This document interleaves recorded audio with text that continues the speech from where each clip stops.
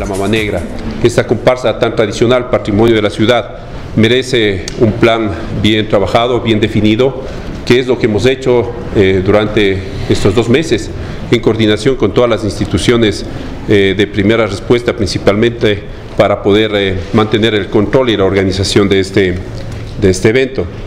la misión del GAD municipal, en este caso en coordinación con las, con las entidades públicas de primera respuesta, es el de garantizar la seguridad integral a la ciudadanía. Es lo más importante y en base a eso hemos elaborado y estamos ya ejecutando este plan.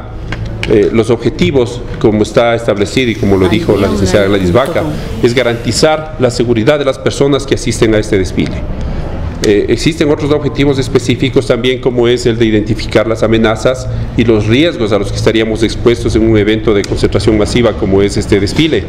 Establecer eh, igualmente cuáles son los recursos con que disponemos, tanto humanos como materiales, para reaccionar ante cualquier tipo de estos eventos. Y de acuerdo a eso hemos identificado los riesgos que están eh, claramente expuestos en la matriz con los principales eh, eh, que podrían darse en, el caso de, algún, de alguna situación especial.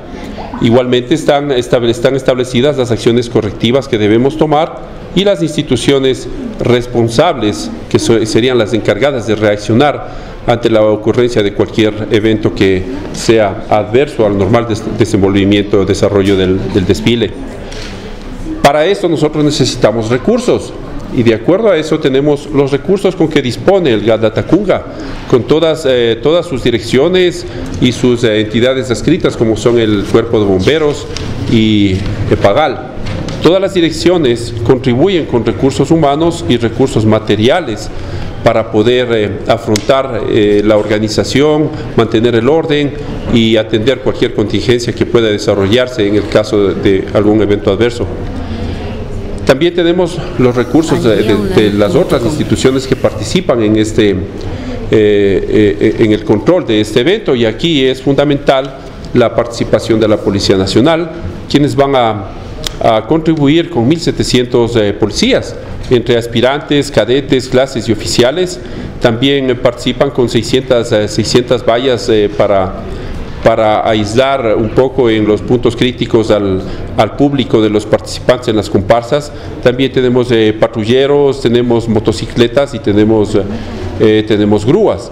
En el caso de la Dirección de Seguridad Ciudadana también vamos a estar al 100% funcionando con el jefe de la Policía Municipal, con tres, eh, dos inspectores, 25 agentes de control municipal, cinco funcionarios de la Unidad de Gestión de Riesgos, dos camiones, una camioneta, cuatro motocicletas, 20 radios de comunicación y equipos de protección personal. Esto entre lo, entre lo más importante. Igualmente la Dirección Administrativa del GAD Municipal está encargada de, todo lo que es la, la organización del dispositivo en, eh, en, el, Parque Vicente León, donde estará establecida la tribuna principal, como vamos a ver más adelante. El recorrido creo que ha sido ya bien difundido, está explicado ya, iniciamos en el puente Galo Torres, continuamos por la avenida Quito, Leopoldo Pino hasta Unidad Nacional, Quijano y Ordóñez, General Baldonado, Sánchez de Orellana, Padre Salcedo. Continuamos por la calle Guayaquil hasta Félix Valencia. En Félix Valencia viramos a la derecha por Antonia Vela y finalizamos en, la avenida Benjamín Terán. Este es el dispositivo del punto central del desarrollo de la Mama Negra, que sería en el Parque Vicente León, con la ubicación de las tribunas y, las rutas de evacuación en el caso que necesitemos eh, desalojar al, público y al personal que se encuentre eh, presenciando este desfile.